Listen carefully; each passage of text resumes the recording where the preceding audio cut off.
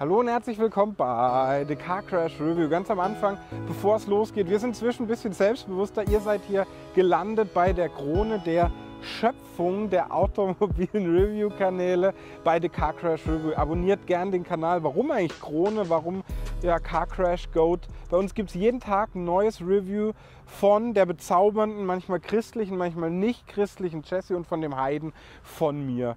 Und das Auto, das ich euch heute vorstelle, das haben wir euch schon als Kombinationskraftwagen, als Kombi, als Shooting Brake gezeigt. Und jetzt kommt endlich die Genesis G70 Limo.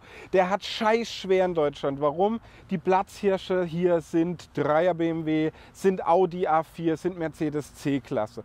Und wir wollen dieser echt blauen Schönheit hier mit dem 2,2 Liter 200 PS Diesel stehend in der Ausstattungsvariante Sport ja so ein bisschen unter die Arme greifen, weil ich stehe auf dieses Auto. Optisch finde ich es bezaubernd. Warum erzähle ich euch in diesem Review? Der Innenraum ist modern, trotzdem nutzerfreundlich. Heckantrieb hier natürlich. Wir schauen, wie er sich fährt in diesem Fahrbericht. Ist ja wichtig. Ich spreche über die Wettbewerber, über den Preis, über alles, was euch zu diesem Auto interessiert. Ich bin der Jan und dann gibt es einen kleinen Kuss am Anfang von mir für euch. Und dann mache ich, was ich immer mache, nämlich meiner objektophilen Leidenschaft frönen und das Auto küssen und dann geht es auch los.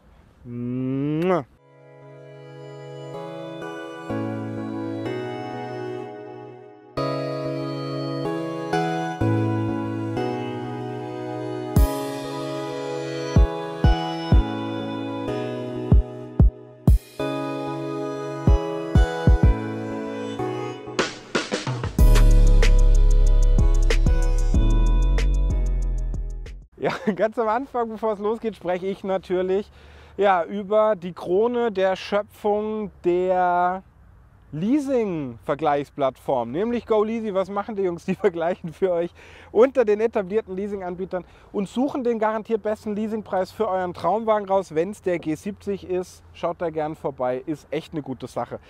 Ja, und Genesis. Das ist die Nobelmarke von Hyundai und viele in der Automobilbranche sagen, Mensch, es ist Zeit für eine Nobelmarke. Die Marke kommt jetzt nach Deutschland, kommt nach Europa. Wir waren ganz am Anfang mit dabei. Ich bin noch ein bisschen stolz, denn wir haben euch den G80 vorgestellt. Wir haben euch den GV80 vorgestellt. Das steht nicht für Geschlechtsverkehr, sondern eben für den SUV. Wir haben euch den hier als Shooting Brake vorgestellt. Übrigens kleiner Einwurf. Kombi sagt man nicht mehr so. Kombinationskraftwagen ist wohl nicht mehr so sexy. Ne? Skoda schreibt es ja sowieso mit C. Hier heißt der dann Shooting Brake. Ähm, ja, Kombi ist irgendwie out. Ich sage immer noch gern Kombi, weil jeder weiß dann, wovon ich spreche. Jedenfalls waren das die ersten Modelle, die dann kamen. Und es wird auch noch ein Modell geben, was dann eben auf der Plattform vom Ionic 5 stehen wird oder dem Kia EV6. Ein vollelektrisches Modell und ein weiteres vollelektrisches Modell wird dann auch wohl 2023 kommen. Aber jetzt haben wir den hier, den G70 und es gibt noch ein GV70. Das Auto hier steht auf der Plattform vom Kia Stinger, das ist die C2-Plattform, Motoren. Ähm, Gibt es aktuell zwei Diesel, zwei Benziner, jeweils irgendwie mit und ohne Allrad und dann wird noch ein Sechszylinder, ein V6 kommen, wahrscheinlich. Und ich habe euch ein Video gezaubert, wie ich das oft mache, und habe ein bisschen über das Vertriebskonzept gesprochen und habe gesagt, ja, also es gibt einen Showroom in München, in Zürich, in London, da kann man sich Tesla ähnlich dieses Auto anschauen. Und naja, ähm, es gibt so einen Personal Assistant. Ja, da spart man sich natürlich so ein bisschen die Werkstätten. Das ist schlecht auf der einen Seite, gut auf der anderen Seite, weil der sich um euch kümmert. Ne? Der holt euch das Auto ab, wenn es dann in die Werkstatt muss. Der äh, ruft euch ab und zu mal an, ob ihr irgendwie zufrieden seid damit. Und ich habe einen Witz gemacht. Ich habe gesagt, ähm, der kümmert sich dann noch um eure Frau oder euren Mann auch. Das tut mir leid an der Stelle, das geht nicht. Entschuldigung. Die Marke heißt Genesis, ist was Christliches und jetzt wird es ein sehr christliches Review. Ich habe über die Wettbewerber gesprochen und die Wettbewerber sind natürlich mit der Mercedes C-Klasse, mit dem Audi A4, äh, mit dem 3er BMW in Deutschland brutal stark. Sind wir mal ehrlich, die sind gut besetzt, da gibt es tolle Leasingpreise. Und umso mutiger finde ich es von Genesis und da bekommen die wirklich volle Props von mir, dass sie in dieses Segment reingehen und da was anbieten. Nicht nur als Limo, sondern eben auch als Kombi. Das ist sehr selbstbewusst, das ist Genesis, das finde ich gut. Man könnte auch sagen, es ist verrückt, ob dieses Auto jetzt mithalten kann, was hier 4,69 Meter ist in der Mittelklasse. Das sehen wir, 1,85 breit, 1,40 hoch und es gibt drei Ausstattungsvarianten. Dieser Motor, der hat nur zwei. Das ist Premium, das ist die Basis, ein bisschen verwirrend. Luxury oder Luxus eben und Sport. Hier Sport, die sportlichste Version, die passt am besten zu mir. Das Blau bei dem Auto mega. Der Designer von dem Auto, Luke Donker Wolke, Jesse sagt immer Donnerwolke zu dem, macht aber nichts. Der ist ein Gott im VW-Konzern gewesen teilweise, jetzt hier und der hat ein tolles Design gemacht. Ich finde, die größeren Modelle schick und ich finde den richtig gelungen und der hat verschiedene Designelemente sich hergenommen. Zum einen sind es die Quad Lamps, also diese zweigeteilten Lampen hier, die mit einer Voll-LED-Technik ausgestattet sind. Mega schmal, mega schick, sehr sportlich. Aber Kritikpunkt, es gibt keine Matrix-LED-Leuchten wie beim Wettbewerb muss man einfach ansprechen. Äh, ich bin ehrlicher Autoreviewer. Was noch toll ist, ist der Crest, C-R-E-S-T, Silver Crest, ne? das Schild hier vorne, Radarsensoren hier. Wir haben die Kamera nach vorne, Genesis-Zeichen, erinnert so ein bisschen an Chrysler früher oder auch an Bentley, sehr schick. Ne? Und hier unten haben wir dann nochmal den Grill, wie er sich hier fängt. Von vorne sieht es sehr schön aus. Nochmal hier ein kühler Grill, nochmal hier ein geschlossenes Element, das fände ich schöner auf offen, schöner und der CW-Wert ist 0,28, was ganz gut ist. Jetzt würde ich sagen, bewegen wir uns mal langsam ins Profil. Von vorne schön langgezogene Haube, tendenziell eher kurze Überhänge, langer Radstand mit 2,84 Meter. Von vorne ein Look, den man schnell wiedererkennt, der schön ist, der elegant ist, der hier auch mit dunklerem Chrom auskommt. Es gibt noch ein Glasdach bzw. so ein ja, Schiebedach für das Auto, haben wir hier jetzt leider nicht. Würde ich immer nehmen. Felgen 17, 18, 19 Zöller. Wir haben hier die 19 Zöller drauf und Sport heißt, hier haben wir die Brembo drauf. Die hat jetzt 350 mm Durchmesser vorne in der Bremsscheibe, 340 hinten, serienmäßig ist es vorne 345, hinten 330. Die Bremse ist toll und bei dem Auto, wenn man sportlich fahren will, sind Bremsen natürlich auch wichtig, würde ich nicht darauf verzichten. Ähm, normalerweise erzähle ich an der Stelle immer, wo der Akku liegt bei den PFs. Wir haben hier keinen PHEV, das ist ein bisschen schade. 60 Liter Tank haben wir hier drin, was gut ist. Ne? Wir haben einen sehr soliden Verbrauch, da haben wir eine echt hohe Reichweite. Und von hinten ist er auch schon schön, aber so weit wollte ich noch gar nicht gehen. Schauen wir uns vielleicht einfach mal diese Linie an mit den Fenstern, die sich hier hinten treffen. Ne? Hinten jetzt nicht abgedunkelt, sehr sehr schick hier. Und ihr habt ja bei uns schon den Kombi gesehen. Dieses Teil hier unten ist auch ganz schön, so eine Kieme, ne? erinnert so ein bisschen an Maserati-Modelle. Aber jetzt gehen wir mal ans Heck. Und das Heck ist für mich echt gelungen. Das ist natürlich ab hier etwa anders als beim Kombinationskraftwagen. Wir Deutschen lieben ja unsere Kombis und 330 Liter Kofferraumvolumen, interessant, der Kombi hat es auch. Und wenn wir jetzt mal hier hinten schauen, dann ist es sehr gelungen. Wieder diese Quad Lamps hier hinten drin. 2,2 Liter Diesel mit Heckantrieb. Ne? Der Motor sitzt vorne, hinten angetrieben und es gibt bei die Allradmodelle, die haben dann eine Lamellenkupplung, die die Kraft von hinten nach vorne wieder bringen. Adaptive Dämpfer haben wir hier auch drin, optional sind jetzt auch hier drin, kann ich euch dann beim Fahren zeigen. Das Auto wiegt etwa 1773 Kilo, so wie er hier steht, zieht 1,5 Tonnen. Und was ich schön finde, dass man ganz selbstbewusst bei Genesis noch die Endrohre zeigt. Schaut euch die Töpfe hier an, da sind sie. Ja, gefällt mir sehr gut. Hier hinten dieser kleine Entenbürzel, auch hier das Chromelement, alles so ein bisschen satiniert. Und dann haben wir ein bisschen Probleme gehabt, den G80 zum Beispiel zu öffnen. Jetzt sind wir schlauer. Ne? Gestern standen wir noch an der Klippe, heute sind wir einen Schritt weiter. Hier ist die Rückfahrkamera und hier, genau da, guckt mal, da geht er auf. Ja. Und natürlich elektrisch, wie soll es anders sein? Danke nochmal an die Frau Bettys, die die Pressearbeit jetzt macht für Genesis. Alles perfekt vorbereitet hier drin. Und an die Muddy auch. Ja. Und jedenfalls, schaut mal hier rein, schön ausgekleidet. Ne? Hier hinten könnte es vielleicht ein bisschen besser lackiert sein, aber das sieht man ja irgendwie eh nie. Doppelter Ladeboden, hier unten könnt ihr noch was verstauen und oder vor der Freundin verstecken. Diese Wanne hier könnte man dann auch nochmal rausnehmen. Schaut euch das gern ganz genau an. Ja, und ähm, das ist schon alles sehr gut gelöst. Ich weiß jetzt nicht, Rückbank umklappen mache ich jetzt in dem Fall einfach mal nicht, weil wer macht das bei der Limo? Das ist auch so ein bisschen Gotteslästerung. Jetzt mache ich hier wieder zu. Fährt richtig schön zu, finde ich. Ich mag auch die LED-Heckleuchten. Und jetzt springe ich mal auf die Rückbank. Ja, wir schauen uns an, wie viel Platz ich da hinten auf der Limo habe. Kommt mit.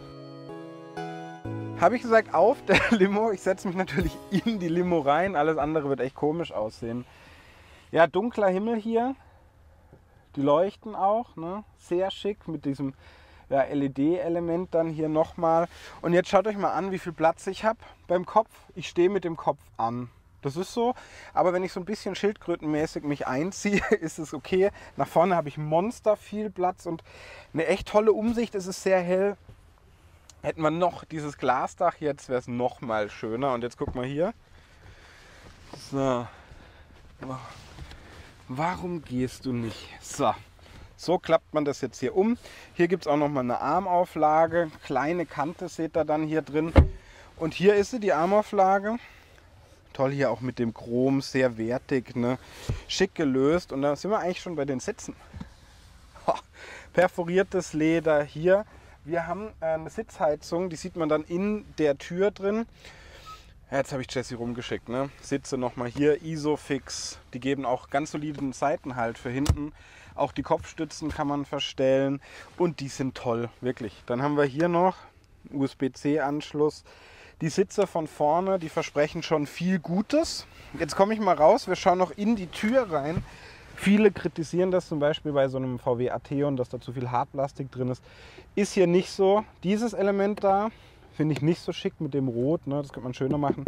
Chrom hier, Lederbezug hier, toll gepolstert. Unten ein bisschen Hartplastik. Wenig Platz in der Tür, aber ist ja auch eine Limo. Und wenn ich jetzt die Motorhaube vorne aufmache, muss ich was erzählen. Ein Italiener zum Beispiel würde niemals sagen, Wille Kombi, Wille Kombinationskraftwagen, ist er hässlich. Ja? Und ein Deutscher sagt, wieso sollte ich was anderes nehmen wie ein Kombi? Da hinten ist doch mega viel Platz. Das Schöne ist ja, dass ihr bei Genesis einfach selbst entscheiden könnt. Und genauso ist es auch bei den Antrieben zum Teil. Jetzt fange ich mit der Kritik an. Keine E-Version, warum Genesis? Erstmal keine Plug-in-hybride Version, warum Genesis? Keine Hybrid-Version. Aber wir sprechen über das, was hier ist. Und das, was hier ist, ja, ist erstmal gut, denn wir haben Vierzylinder, wir haben einen 2 Liter Benziner, der hat dann ja, entweder 197 oder 245 PS, den haben wir hier jetzt nicht. Die größere Version beim Benziner gibt es dann noch wahlweise mit Allrad, die dann die Kraft von hinten nach vorne bekommt. Der kleinere hat Heckantrieb, 8-Gang. Automatik ist hier immer drin. Hier ist jetzt der 2,2 Liter Diesel. Sagt er, der hat doch nur 200 PS. Ja, aber beim Auto, was etwa 1,7, 1,8 Tonnen wiegt, je nach Ausstattung, haben wir 440 Newtonmeter. Und damit beschleunigt der hier halt ja, in 7,4 Sekunden auf 100, wird 230 km/h schnell, hat einen Normverbrauch irgendwie angegeben von 6,4 Litern. Und durch dieses Drehmoment haben wir wirklich viel Spaß hier drin. Jetzt muss ich als alter Autotester-Profi natürlich schauen, dass ich den hier aufbekomme. Hier ist es. Zwei Streben auch nochmal hier drin. Vier Zylinder natürlich. Ja, und sehr viel mehr kann ich nicht sagen. Eine Sache noch, es wartet ein V6 Turbo auf uns, der wohl kommen wird mit 370 PS. Motor relativ bekannt, 3,3 Liter aus dem Stinger. Ich freue mich jetzt tierisch aufs Fahren, wirklich. Ich Bock, deshalb sind wir hier. Schauen wir uns einfach mal an, was der Innenraum kann. Dafür kommt er vielleicht einfach mit mir rein. Danach wird gefahren. Ja, und dann legen wir los. Kommt mit. Ja, kommen wir zum Innenraum. Und die Frage, die es jetzt beim Auto, was in Korea gebaut wird, zu beantworten gilt, ist es jetzt die Krone der Schöpfung oder ist es einfach nur ein Innenraum? Das machen wir jetzt zusammen und man beginnt eigentlich ja bei den Sitzen, bei der Tür, bei den Materialien, aber wir haben hier eine Ausstattungsliste mit den zehn besten Features.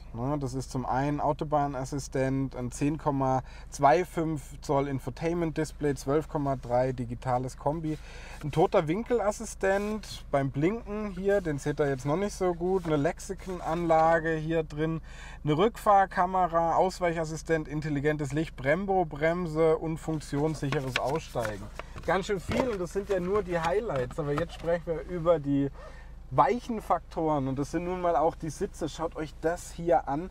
Man kann die kühlen, man kann die heizen, die geben tollen Seitenhalt. Das ist spannend, weil wenn man jetzt hier auf Eco stellt, habe ich relativ ausreichend Platz bei meinen Hüften. Ne? Stelle ich allerdings auf Sport, Plus, dann zieht die Seitenbacken hier an und dann merke ich, oh, Corona ist auch an mir nicht spurlos vorbeigegangen. Vielleicht den einen oder anderen Rotwein abends weniger. Ja, jedenfalls ist es toll, weil die so ein bisschen zupacken. Ich kann auch auf dieser Seite hier die Sitze in der Neigung verstellen oder nach vorne und hinten fahren und das kann ich auch von hinten machen. Kennt man vieles auch von Hyundai, was da gut ist, wird übernommen. Ihr könnt auch hier ja die Kopfstütze verstellen, ganz hoch, ganz runter. Ich mache sie mal wieder runter, weil es sieht ja sonst doof aus. Tolle Sitze, wirklich bequem und hier vorne habt ihr dann Heizung oder Kühlung für die Sitze, Lenkradheizung schon gut. Genesis steht ganz stolz auf der Fußmatte und jetzt schauen wir mal in den Himmel rein, der ist ganz schwarz. Ne? Und in die Tür können wir auch mal gern schauen. Und da ist natürlich Materialverarbeitung und Qualität echt toll mit dem Leder. Sehr gepolstert alles mit diesem ja, Chrom vorne, was so eine Maserung da drin hat mit der Lexikenanlage da. Ist schon richtig gut. Und wenn einem die Tür gefällt, dann spricht man natürlich auch über die Ablagefläche in der Tür. Die ist nicht sonderlich groß, muss man wissen. Aber hier das Dashboard vorne ist natürlich hier mit weichem Leder bezogen, ist hier vorne mit diesem Kunstleder weich. Hier unten noch mal ein bisschen Hartplastik im Handschuhfach, Jessys Maske noch drin. Und ansonsten relativ dick die Mittelkonsole hier, wird allerdings dünner. Hier haben wir eine induktive Ladebuchse fürs Handy, USB-Stecker hier, 12 Volt Stecker auf der Seite. Schaut mal hier. Das ist schon cool wirklich gut gelöst. Hier so ein Schiebregler für die Gänge dann mit einem P fürs Parken. Hier können wir die Fahrmodi ändern dann ganz bequem über so einen Drehregler. Dann ändert sich auch die Grafik jeweils. Ja, dann haben wir hier eine 360 Grad Kamera. Schaut euch das an, seht ihr dann hier. Die können wir hier aktivieren. Hier haben wir ein kleines Fach für Getränke. Und schaut mal hier, der Genesis-Schlüssel. Wenn man den auf den Tisch legt, könnte so ein bisschen aussehen, als hätte man einen Bentley. Jedenfalls hier haben wir nochmal einen USB-Anschluss, was ganz praktisch ist. Und ich sitze hier toll drin. Heißt, ja, ich kann hier elektrisch, schaut mal, elektrisch das Lenkrad, uh, der feine Herr, elektrisch das Lenkrad, kann ich das Lenkrad verstellen. Ja? Und jetzt würde ich sagen, kommt die meistens liebe Jessica mal rein und wir sprechen eben über jenes Lenkrad. Eher dünn, trotzdem wirklich gut verarbeitet. Wir haben hier perforiertes Leder in der Grifffläche, drei Speichen, wunderschön das Genesis-Logo hier drin. Sprachsteuerung hier lauter leiser geht hier auch noch. Schaut gerne mal nah auf den Pralltopf, wie schön dieses Logo hier verarbeitet ist und und dann haben wir hier die Steuerung fürs digitale Cockpit da vorne. So nah müsste jetzt auch nicht kommen. Und erstmal da oben haben wir ein Head-Up-Display, toll im Sichtfeld bei mir. Da sieht man dann Geschwindigkeit, Navigationsansagen. Und was jetzt interessant ist, das ist dreidimensional. Ich hoffe, ihr seht es, da müsst ihr aus verschiedenen Winkeln arbeiten. Ähm, das kann man allerdings auch ausstellen, machen wir später. Hier kann man so ein bisschen durchtippen. Ne? Da kann man dann verschiedene Daten sehen. Ich finde es immer ganz gut, wenn man da nah dran ist. Dann sieht man das gut den Füllzustand vom Urea oder wie andere Hersteller das nennen. AdBlue, ne? eine Verkehrszeichenerkennung. Da habt ihr echt viele Möglichkeiten. Auf der Seite könnt ihr noch einen Kofferraum aufmachen, die Tankklappe vom 60-Liter-Tank. Schon ganz cool. Ich mag, dass ihr hier unten für die Klimasteuerung noch Drehregler habt, für die Stärke eben hier oder ja jeweils dann die Wärme, hier eben Sitzheizung, Sitzkühlung, Umluft ist hier. Wichtigste Knöpfe haben wir hier, das ist zum einen die Karte, das ist ja nochmal das Navi, das ist dann das Radio, das ist Media, das ist was, was ihr euch selbst bestimmen könnt und Setup. Das ist gut, weil manchmal hat man eben nicht Lust bei der Fahrt alles anzuschauen und davon gibt es hier wirklich eine Menge. Start-Stopp-Knopf ist hier. Da habt ihr hier Karte zum Beispiel und da seht ihr mal, wie schnell dieses System ist, wie gut es funktioniert. Touchfähig natürlich sowieso. Apple CarPlay, Android Auto natürlich hier auch drin, Sprachnotizen, Klimaanlage sieht dann so aus. Radio, Medien in Valid-Modus habt ihr, mache ich nicht, solltet ihr auch nicht machen. Man gibt sein Auto nicht aus der Hand zum Parken, aber es kann das. Ja, dann habt ihr hier Live-Parkplätze zum Beispiel auch. Und Jessie hat es total an der Lippe, sie braucht einen Labello. Ganz dringend. Hält auch die Kamera immer noch in meine Kamera, wollte sie wegmachen. Und hier sieht man jetzt die Live-Tankstellen, wo wir ihr gleich ein Labello kaufen können. Das ist ganz spannend und hier geht es dann zurück. Einstellungen ist noch spannend. Zum Fahrzeug wahrscheinlich am meisten. Fahrmod, also hier haben wir dann die Assistenten, das ist richtig viel. Querverkehrwarner hinten. Ein Ausstiegswarner haben wir zum Beispiel auch. Hier können wir diese seitliche Sitzverstärkung an und ausmachen, den Segelmodus an und aus, den Sound vom Motor aus, verstärkt normal sanft. Head-Up-Display kann man die Anzeige dann beeinflussen, je nachdem, wie man das will. Inhalte auswählen geht dann natürlich auch noch. Da könnt ihr alles irgendwie rein projizieren. Zu viel ist auch nicht gut, wie immer im Leben. Ne? Zu den Sitzen noch was machen, zu den Leuchten, zur Tür, zum Komfort und ähm, ja, Fahrmodi habe ich euch hier gezeigt, Fahrassistenten. Kombi-Instrument war noch wichtig. 3D-Cluster, da seht ihr das mal. Könnt ihr normal machen, da schaut ihr jetzt mal vor. Das ist normal oder ihr könnt es ausstellen. Dann hat man kein 3D mehr. 3D hat eben den Nachteil, dass es vielen, da müsst ihr wieder vorgucken, ja eben schwindlig wird, wenn man das an oder nochmal vorne schauen, aus hat. So, jetzt habe ich euch echt viel gezeigt zu diesem Infotainment. Hier geht es wieder zurück. Es gibt noch Knöpfe, Hinweise. Was jetzt natürlich entscheidend ist in diesem Video ist, wie fährt er sich? Wie göttlich fährt er sich? Ja, jetzt kommen wir zum Fahren endlich. Ich mache den Genesis hier an. Ihr schaut mal nach vorne, wie schön das Genesis-Zeichen da reinfährt. Fühlt sich richtig erhaben an. Ich mache wieder aus. Das fährt nämlich dann auch wieder raus. Damit ihr unten jetzt auch mal schauen könnt, wie das andere hier angeht. Hier haben wir übrigens eine Kamera noch zu mir. So funktioniert das dann. Hier vorne dreht sich einmal. Fahrmodi wählen wir jetzt noch, den Modus. Dann nehmen wir mal Komfort am Anfang. Und ich habe ein bisschen mehr Platz in Komfort jetzt bei den Hüften. Hier ziehen wir nach hinten. Und jetzt fahren wir mal los. Und erstmal merken wir, oh, für 200 PS hat er relativ viel Antritt. Warum eigentlich? Es sind halt 440 Newtonmeter. Jetzt machen wir noch eine Sache. Wir schalten mal in Sport Plus. Da geht nämlich das ESC aus. Nämlich mir ist eine Sache aufgefallen hier. So, wenn man jetzt in die Kurve fährt, dann kommt das Heck ganz schön rum. Ne? Da muss man auch relativ schnell gegenlenken. Deshalb schalten wir jetzt einfach mal den normalen Sportmodus, beschleunigen mal so ein bisschen durch hier auf dem Parkplatz, damit ich euch das zeigen kann jetzt. Das denkt man nicht, dass der so nach vorne geht. Man kann auch an den Peddeln hier schön eingreifen. Und dann haben wir den Fahrwerksentwickler heute getroffen und der hat gesagt, ey, ich schaue eure Videos nicht so, was unsere Videos und äh, toll, aber bitte geht mal aufs Fahrwerk ein, wie das ist. Jetzt habe ich ihm Komfort gestellt, drehe erstmal hier, das ist der Wendekreis. Der ist okay, es reicht nicht in einem Zug. Rückfahrkamera ist jetzt hier drin, schaut euch die an, die ist richtig gut. Ne? Habt ihr dann auch verschiedene Winkel, die ihr einstellen könnt. Und jetzt fahren wir in die andere Richtung und sprechen übers Fahrwerk. Es gibt ja ein Sperrdifferential wohl optional für die Hinterachs. Macht ja Sinn, weil der Antrieb ist hinten. Ne? Brembo-Bremsen haben wir hier drin, die, ich bremse mal kurz völlig die echt ganz gut funktionieren für dieses Auto. Die sind großartig. Und Fahrwerk. Ich bin den gefahren, der hat die adaptiven Dämpfer hier drin, die sich ja verändern. Und bei den größeren Modellen haben wir hier eine Kamera, die nach vorne die Straße ausmisst und dann, naja, eben schaut, müssen wir die Dämpfer vorhärten, vorweichen, wie ist das? Und hier drin ist es ganz spannend, weil da haben wir dieses System nicht, nur die adaptiven Dämpfer. Und ich dachte, das sei drin, weil das Auto so solide abgestimmt ist. Und die Spreizung hier aus Sportlichkeit, auch mit dem Sound, wenn man jetzt mal schnell umstellt hier, ähm, hin zu dann Komfort ist wirklich ganz gut. Jetzt bedanke ich mich beim Parkwächter hier, der uns hier reingelassen hat.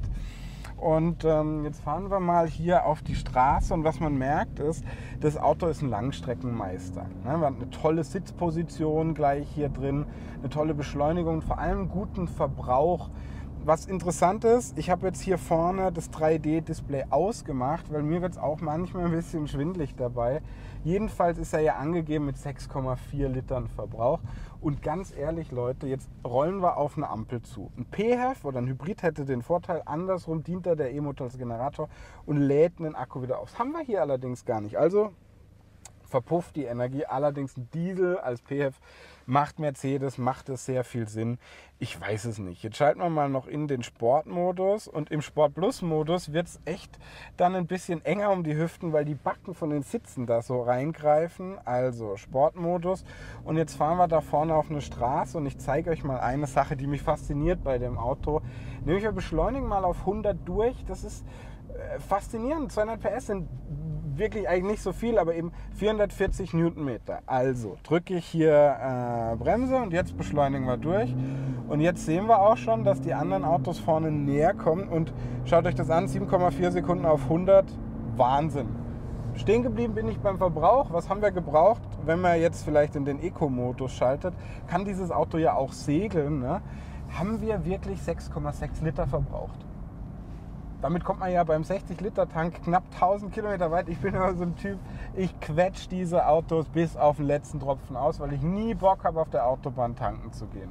Nie, meine ich.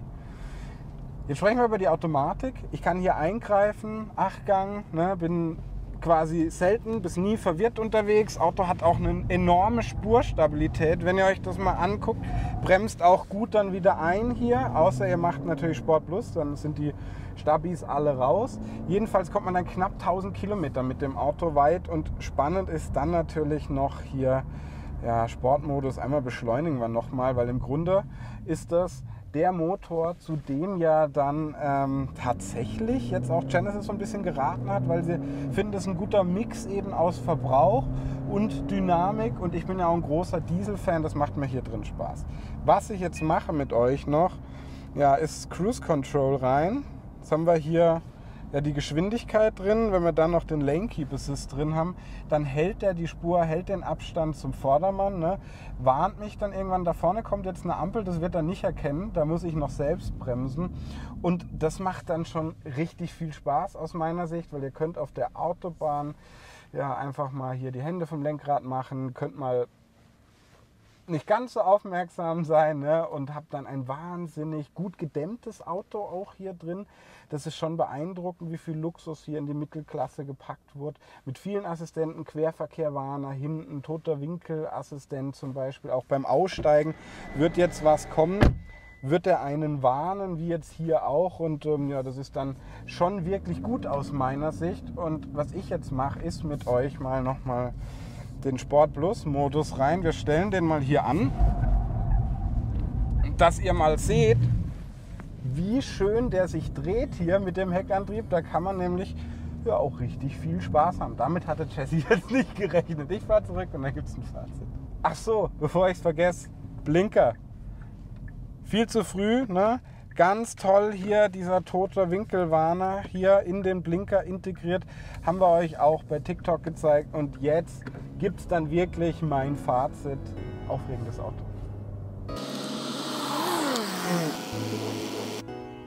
Ja, kommen wir zum Fazit. Ich bin ja euer Autotester des Vertrauens. Man nennt mich auch Mallorca Jan, weil ich hier in der Sonne jetzt sitze. Hat was Göttliches, ein göttlicher Moment für mich.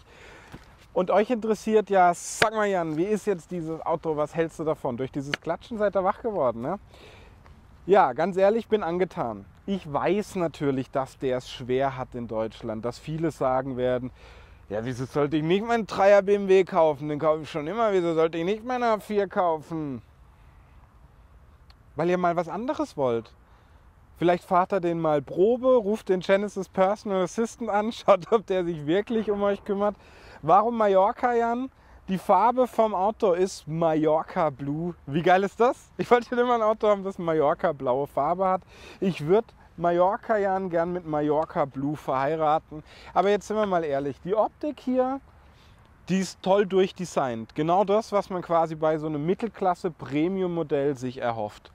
Zurückhaltend, trotzdem präsent, toll.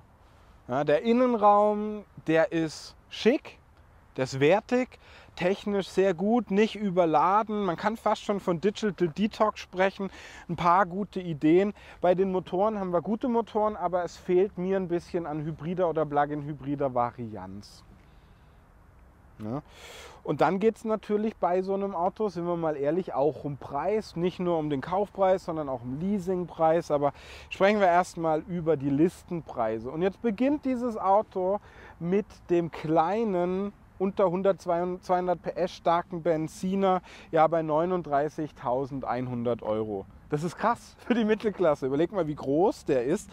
Dann hat man auch schon recht viel drin. Die drei Ausstattungsvarianten habe ich euch genannt. Hier haben wir jetzt Sport drin, haben den 2,2 Liter Diesel. Ich würde euch den wärmstens ans Herz legen. Der hat zwar nur 200 PS, aber viel Drehmoment, einen echt guten Verbrauch. Ich bin Fan von diesem Motor. Ich bin ja generell auch Diesel-Fan. Ja, was kostet er jetzt? Der beginnt in der Premium Line bei 41.500 Euro ja, und 45.710 Euro. Da beginnt er hier in der Sportline. Als Luxuslinie gibt es den jetzt so nicht. Und so wie er hier steht mit den Extras, liegt er ja bei 52.930 Euro. Die Lackierung sehe ich hier kostet 820 Euro. Das ist echt okay, was ihr da bekommt. Vielleicht sogar so ein kleiner Geheimfavorit, Hidden Champion, Preis-Leistungs-Meister. Wer das weiß, ist unser Kooperationspartner GoLeasy. Die brauchen die Liste nicht, denn die wissen sowieso alles. Was machen die Jungs? Die vergleichen für euch unter den etablierten Leasinganbietern ja, und suchen den garantiert besten Leasingpreis für euch raus. Schaut da gern vorbei, ist eine gute Sache. Hier seid ihr gelandet bei, bei mir, wir hatten die Car Crash Review. Jessie steht hinter der Kamera, da gefällt sie euch äh, weniger gut wahrscheinlich. Mir gut, ich sehe sie ja. Ähm, sie zaubert euch ein Video jeden Tag und oder ich. Abonniert den Kanal, macht euch glücklich, unsterblich zu den Review-Zuschauer Goats und den Schöpfungskronen der automobilen Zuschauer Gucker oder so. Bis bald in einem anderen Zirkus. Tschüss.